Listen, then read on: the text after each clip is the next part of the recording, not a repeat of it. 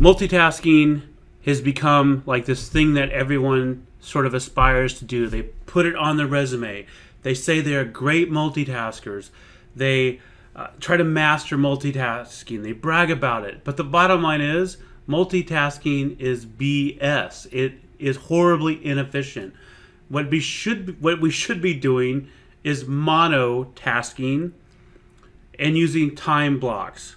So some people are going to say, "Well, I can't monotask because I have multiple things to do." That's the common argument I hear.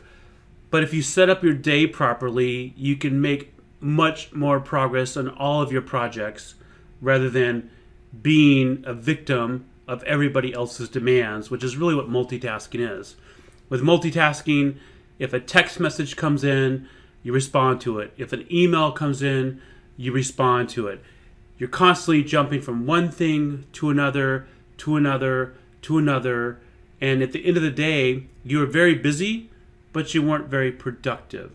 With monotasking, you can certainly respond to email, but you set up your day where you have blocks of time. You do a time block maybe between 8 in the morning and 9 in the morning.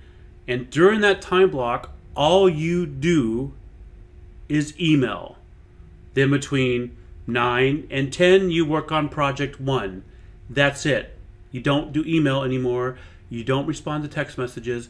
You focus 100% on that project. So not only are you more productive, you're more present, and if you're having a meeting, for instance, instead of multitasking in the meeting, or let's say you're on a date, you probably have been in this situation where you're in a meeting, you're on a date, you're at dinner with somebody, and they're not present with you. They're not monotasking. They're looking at their phone.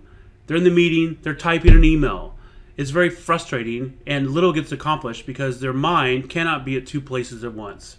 So, monotasking is really what we should be doing. I think I first heard the term in the book Living with the Monks by Jesse Itzler. It's an awesome book. I highly recommend it. Moving forward, I urge you to look at your day and look at the productivity of your day versus the busy work of your day. Use time blocks and use monotasking. And if somebody says, why aren't you a great multitasker? Say, you know what? I'm a great monotasker and I actually get uh, things accomplished instead of responding to everybody's demands on my time. Any questions at all about the video, the subject, or if you have a request for a future video, please leave it beneath this video. Hopefully you like this video, subscribe to our channel, and I'll talk to you later on. Happy monotasking.